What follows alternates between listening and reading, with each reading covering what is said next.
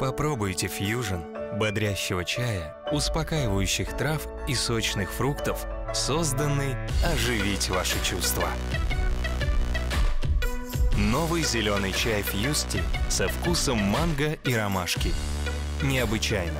Вкусно. Фьюсти.